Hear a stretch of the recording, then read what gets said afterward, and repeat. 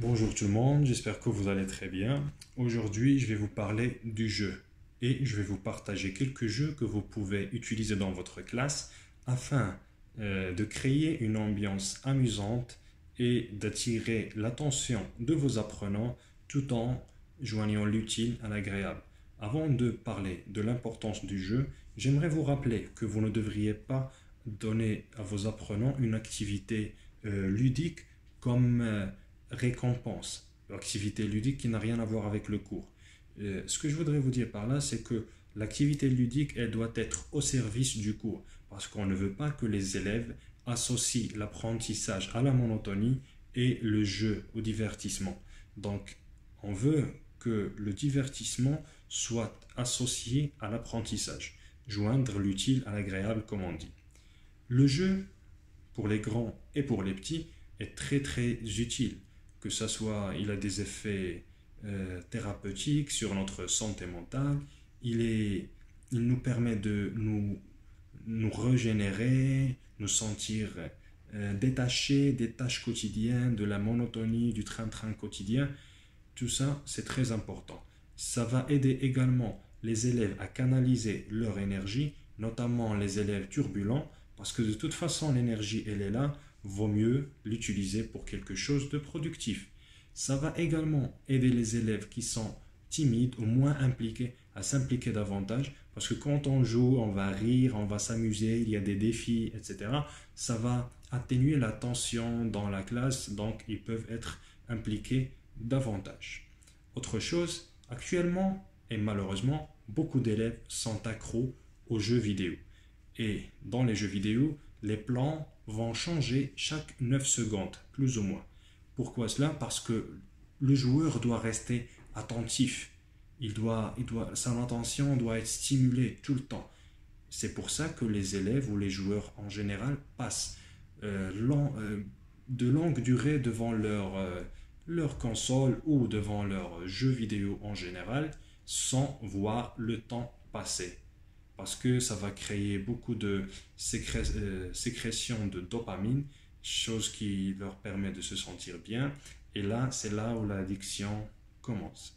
S'ils viennent en classe, qu'est-ce qui se passe? Ils ont un professeur devant eux qui, bien sûr, qui lui est impossible de changer de plan chaque 9 secondes, parce que c'est tout simplement impossible, techniquement et physiquement parlant. Et pire encore des fois, on trouve qu'il y a des professeurs qui sont ennuyés ou qui ne sont pas assez stimulants. Ça se voit dans leur énergie. Donc l'élève, imaginons qu'un élève euh, joue avant de venir en classe. Son attention, elle est attirée par le jeu qui change chaque 9 secondes. C'est actif, ça bouge. Il vient en classe et il trouve un professeur qui, qui leur dit Bonjour, aujourd'hui nous allons parler de la conjugaison du verbe être. J'imagine que l'élève est déjà entré dans un état de transe, il est déjà en train de, rêver, il est allé ailleurs. Peut-être que mentalement, il est revenu à son jeu. Donc, puisqu'on sait que le jeu est quelque chose qui attire l'attention des apprenants, pourquoi ne pas faire preuve de créativité et l'utiliser au service de l'apprentissage? Le problème qui se pose ici, c'est que les profs, soit ils se sentent, euh, ils se sentent limités en outils, ou ils craignent que les élèves fassent des bêtises, etc., que le bruit commence. J'aimerais corriger une euh, fausse croyance qui dit que s'il y a du bruit en classe, ça veut dire que ça, la, la leçon n'avance pas. Euh, il faut que tout le monde soit calme. Qui a dit ça? Ça, c'est une vision ancienne de l'enseignement où les élèves doivent être calmes, comme des robots, ils vont rien faire, c'est juste des choses qui se répètent machinalement. Non, c'est pas ça. C'est ça ce qui va les pousser à faire des, des, avoir des comportements négatifs parce que leur énergie n'est pas canalisée. Donc, ça, faut voir ça avec l'administration. Quand je parle à des profs, ils me disent que euh, le directeur leur dit qu'il y a du bruit dans la classe. Avoir du bruit dans la classe n'est pas signe d'une mauvaise gestion de classe, avoir le silence dans la classe n'est pas signe d'une bonne gestion de classe. Parce que comme j'ai dit dans une autre vidéo, je peux avoir une classe calme, mais terrorisée. Bien sûr, des élèves terrorisés ne vont pas apprendre. Donc mon objectif, c'est pas de faire le policier uniquement, mais c'est de transmettre un savoir. Donc ce qu'on veut, c'est les deux. Euh, alors, sans plus tarder, nous allons parler des jeux. Je vais vous proposer pour cette vidéo 5 jeux. Donc, ces jeux-là sont applicables pour n'importe quelle matière. S'il vous plaît, n'hésitez pas à les partager avec vos collègues, que ce soit de votre matière ou d'autres. La première euh, activité que vous pouvez faire, c'est question pour un champion.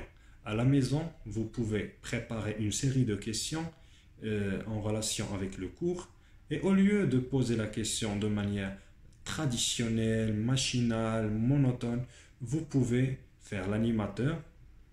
Vous, allez diviser la classe en deux groupes ou en quatre groupes, ça dépend de votre effectif. Et vous allez jouer à l'animateur. Vous allez faire, euh, vous allez présenter l'émission avec comme étant un animateur. Bonjour tout le monde, j'espère que vous allez très bien. Aujourd'hui, nous sommes dans l'épisode numéro blablabla de Questions pour un champion. À ma droite, l'équipe des champions. À ma gauche, l'équipe des, des intelligents. Nous allons voir qui va gagner. Ça, ça va vraiment attirer l'attention de vos élèves. Il faut vraiment y croire, jouer ça avec beaucoup d'énergie, etc. Ça va attirer leur attention. Euh, ça sera différent de ce que vous faites euh, d'habitude ça, va vraiment attirer l'attention de vos apprenants. Donc, comment ils peuvent répondre, soit en applaudissant, soit en faisant comme ça, ou en frappant sur la table. Euh, vous pouvez vous mettre d'accord sur un, sur un signal sonore ou un geste qui va euh, être le, le symbole de la demande de parole, ou vous pouvez leur donner un feutre qui va être comme un micro, et à la fin, vous allez euh, faire le calcul pour voir qui a gagné. Vous pouvez faire aussi comme une sorte de qualification. Deux équipes euh, l'une va se qualifier à la demi-finale, l'autre aussi un autre match de deux équipes. Euh, donc on aura une finale à la fin, etc. Donc ça va créer une ambiance ludique. Premier jeu, question pour un champion. Deuxième jeu, le bocal. En fait, on peut, c'est le même principe, une série de questions que vous pouvez mettre en dans des bouts de papier. Et ce que vous allez faire, vous allez les mettre dans un chapeau de magicien ou dans un bocal ou peu importe le support ou un verre, etc. Et soit vous allez tirer au hasard ou vous faites circuler et les élèves vont tirer au hasard et vont répondre. L'avantage, c'est que ça va impliquer tous les élèves. Vous pouvez aussi mettre un autre euh, chapeau avec les noms d'élèves. Vous pouvez tirer le nom d'élève et la question.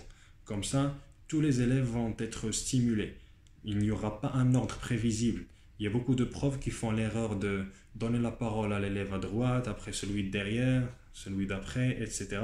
Donc l'autre à gauche, il se sent euh, négligé, bien sûr, il ne va pas être impliqué. Mais s'il y a l'effet de surprise et l'effet de suspense, bien sûr, ils vont être tous impliqués en même temps.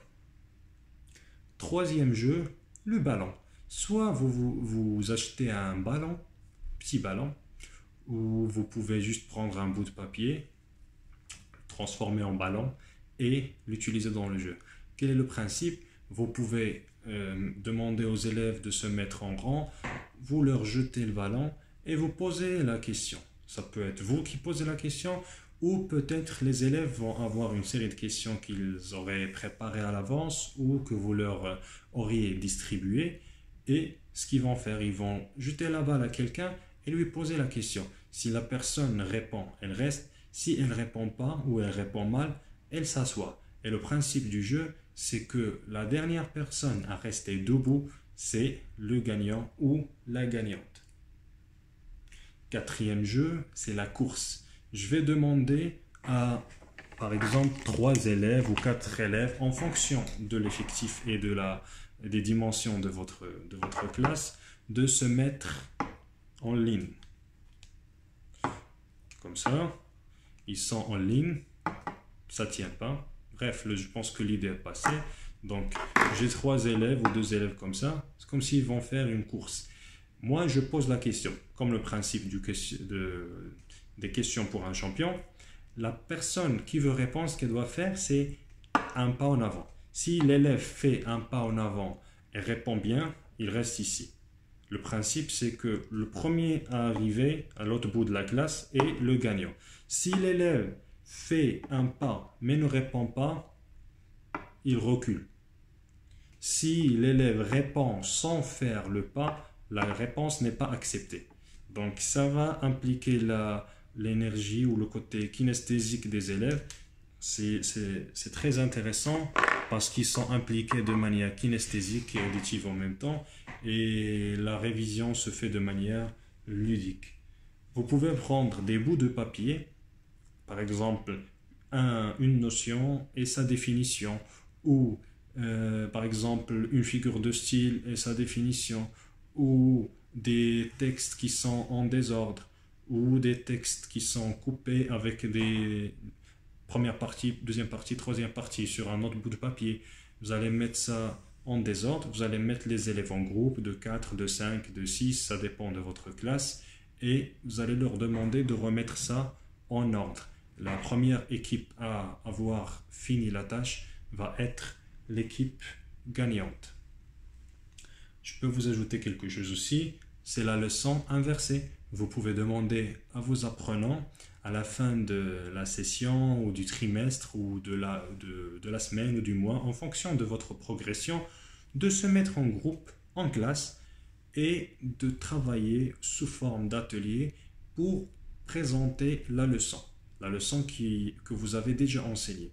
Et il y aura soit un porte-parole, soit vous allez faire comme une sorte de conférence. Où vous allez les placer, il y aura quatre élèves et vous allez leur dire que voilà, vous êtes des experts maintenant, présentez-nous la leçon. Ça va leur donner un sentiment de, euh, un haut sentiment d'estime de soi, ils vont se sentir valorisés et le fait qu'ils préparent et qu'ils présentent la leçon à leurs camarades va leur permettre de mieux la mémoriser. Parce qu'on dit qu'on garde 90% des choses qu'on partage avec les autres. Si je lis quelque chose c'est, et je le garde, c'est pas la même chose que si je le lis et je le partage avec cinq personnes, par exemple. Si je le partage avec cinq personnes, je l'ai écouté six fois. La première fois quand je l'ai consommé et cinq fois en le partageant avec les autres. Donc, j'espère que ces jeux vont vous être utiles, qu'ils vont vous épargner beaucoup de problèmes de discipline. N'hésitez pas à les partager avec vos collègues. Et sur ce, je vous dis merci et à très très bientôt.